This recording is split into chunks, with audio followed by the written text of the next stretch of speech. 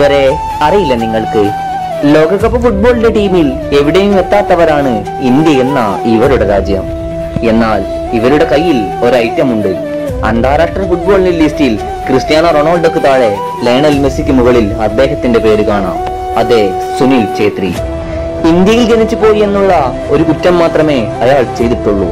അല്ലെങ്കിൽ ഒരു പക്ഷേ ലോകകപ്പ് മിന്നും മൈതാനങ്ങളിൽ അയാളെ വാഴ്ത്തിപ്പാടുന്ന കൊടികൾ ഉയർന്നേനെ.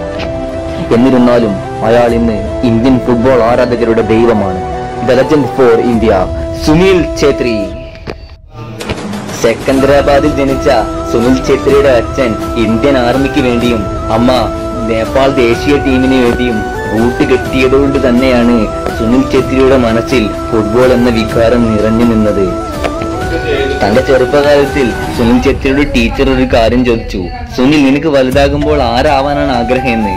സുനിൽ ഛേത്രി പുഞ്ചിരിച്ചുകൊണ്ട് ഒരു മറുപടി പറഞ്ഞു ടീച്ചറെ എനിക്കൊരു ഫുട്ബോൾ പ്ലെയർ ആവണം ടീച്ചറെ. എന്നാൽ ക്ലാസ്സിലുള്ള എല്ലാ കുട്ടികളും സുനിൽ ഛേത്രി അത് പറഞ്ഞുകൊണ്ട് കളിയാക്കി.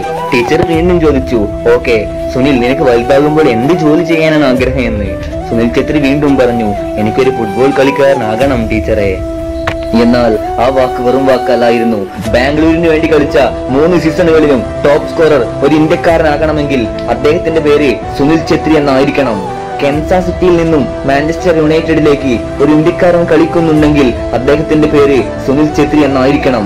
ഇന്റർനാഷണൽ ഗോൾ അടിച്ചതിന്റെ ലിസ്റ്റിൽ ക്രിസ്ത്യാനോ റൊണാൾഡോക്ക് താഴെ ഒരു ഇന്ത്യക്കാരന്റെ പേര് വരണമെങ്കിൽ അദ്ദേഹത്തിന്റെ പേര് സുനിൽ ഛേത്രി എന്നായിരിക്കണം. എന്തുകൊണ്ടും സുനിൽ ഛേത്രി എന്ന ചോദ്യത്തിന് ഇത് തന്നെയാണ് ഉത്തരം.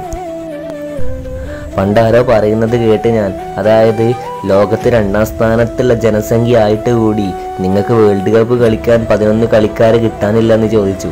സത്യം പറഞ്ഞാൽ ഞങ്ങൾക്ക് പതിനൊന്ന് കളിക്കാരൊന്നും വേണ്ട. ഞങ്ങളിൽ ആകെയുള്ളത് ഒരു മുതൽ മാത്രമാണ് ആ മുതൽ തന്നെ മതി ഞങ്ങൾക്ക് ബാക്കിയുള്ള പതിനൊന്നിന്റെ പകരം.